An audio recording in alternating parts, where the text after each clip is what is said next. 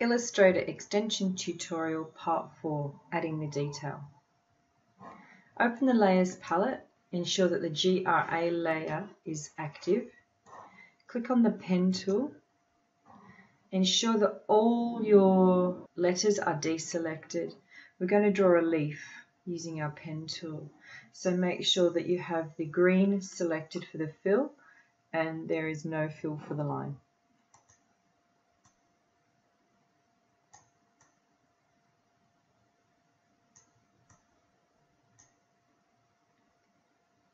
There's half my leaf. Deselect the leaf. And now I'm going to draw another half a leaf. I want the gradient on this second half to be different from the gradient on the first half leaf. So I'm going to click on the gradient tool on the left toolbox and I'm going to uh, manipulate the gradient slider and rotate it around the other way. Actually just there. So you can see I have two different gradients. I'm going to click on the selection tool and move my second leaf half and position it next to the other one and then just drag it out a bit so that my leaves leaf halves look like they match. I now need to select both halves, so I hold the Shift key down and click on the second half of the leaf. Go to Object and Group or the shortcut Control G. And that should now be a complete object, so I have a leaf here. I want to make a highlight on my leaf now to make it look a bit more three-dimensional. So I'm going to change the fill to white, use the pen tool to draw a white line on my leaf give it a bit of curve. And I have a white line. Make sure the white line is selected. Go to the gradient palette on the right of your screen. Um, change the style to or the type to linear and you can see it's defaulted back to green. So I'm going to double click on this slider, change it to white. I'm going to change the opacity to zero and then I'm going to double click on this slider and also change it to white, but leave the opacity at 100%. Going to now zoom in on my leaf. And I want to draw some small ellipses to make it look like uh, drips of water. So I'm going to choose the ellipse tool and draw an ellipse. There's a water droplet. Then I'm going to zoom in again onto the water droplet and draw another ellipse on top of it and another ellipse on top of that one. So they give the impression that I have water droplets. Going to select all of the water droplets I've created. So I'm going to click on the selection tool, Control G to group. Going to zoom out a little bit. Going to Control C to copy, deselect, Control V to paste, and position the water droplet where I want it to be.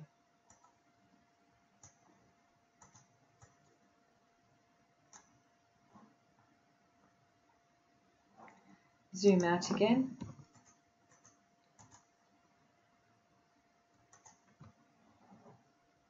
Deselect. So if you're not happy where they are, you can always reposition them.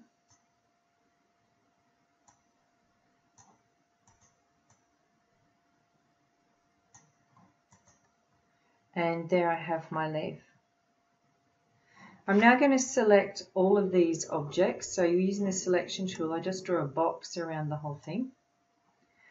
And I'm going to group the whole thing.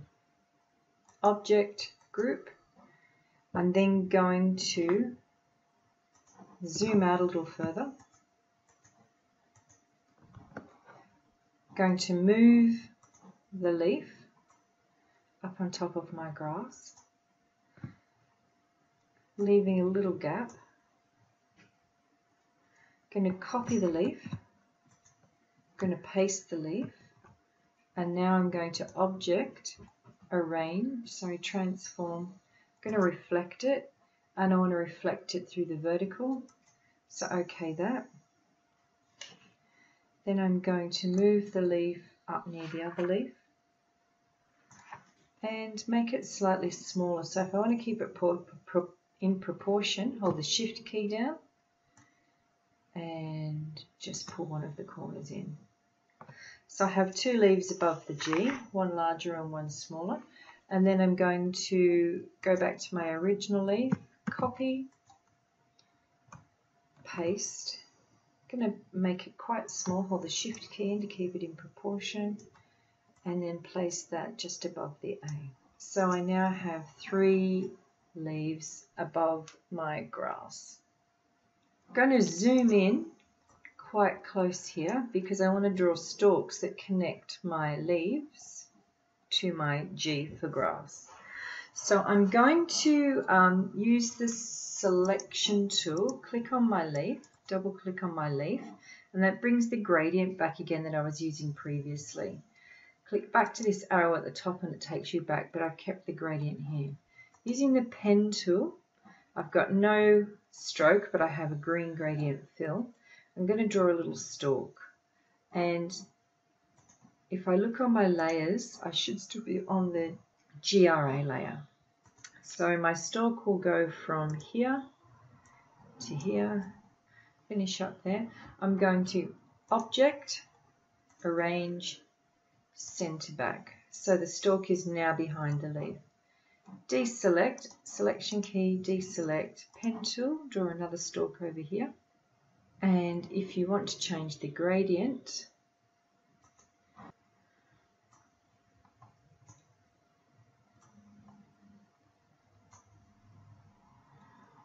and again, object, arrange, send to back.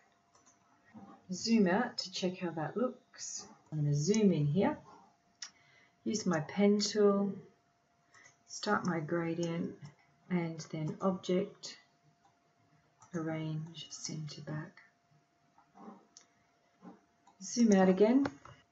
So far not looking too bad. Obviously my lines here aren't that great, but I'm sure you girls will be able to do a much better job than I have. We're now going to add some more tendrils and some more um, water drops. To add the water drops, select one of your leaves, go to Object, ungroup it, deselect it, then select one of the, copper, the uh, rainwater drops you've got Control C to copy, deselect, and then Control V to paste it. And you can paste and resize your water drops wherever you want to. So there's also a few more tendrils to add. Going back to, oh, double click on anything that's green. Double click again to make the fill color change to the green gradient. And then you need to go back and back here and back here to make sure that the layer is shut and you've got the whole thing happening. So now I'm going to draw some more tendrils that crawl around. Now you can change the gradient on any of these by using the gradient tool and then pivoting the gradient selector. So select what you want, click on the gradient tool, click on the gradient selector and you can see it changes the appearance altogether. So this one here, I think I'll change it again. I want it lighter at the bottom. That looks a bit better. And I'm happy with the other ones. So zooming out, you can see I have some creeping vines wrapping around the A. I need to add in a few more little details and we're pretty much finished that stage.